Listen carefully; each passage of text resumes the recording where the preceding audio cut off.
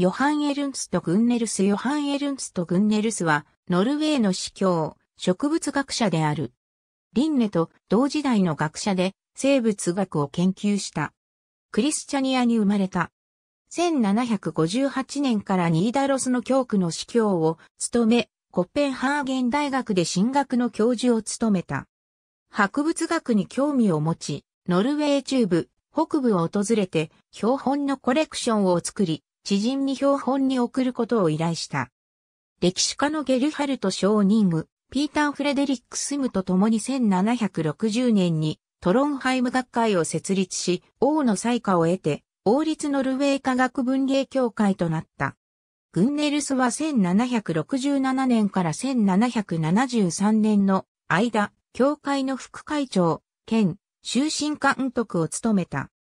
協会は1761年から、協会誌、デッドとロンヒームスクセルスコップススクリフィターの出版をはじめ、グンネルスも1765年にウバザメの記述を行い学名を与えた。グンネルスはノルウェーの植物の著者である。北ノルウェーの鳥類の研究について、クヌートのベスクリベレスオーバーフィンマーカンズラパーの観光に協力し、これはラップランドとフィンマークの鳥類習性として英訳された。多くの生物について同時代のカール・フォン・リンネと議論を重ねた。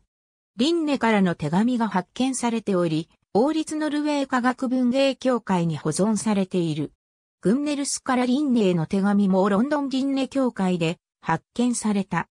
オーロラの起源について論じた最初の科学者でもある。1766年にスウェーデン王立科学アカデミーの外国人会員に選出された。皮脂植物のグンネラに懸命されている。ガンナースは植物の学名で命名者を示す場合にヨハン・エルンスとグンネルスを示すのに使われる。ありがとうございます。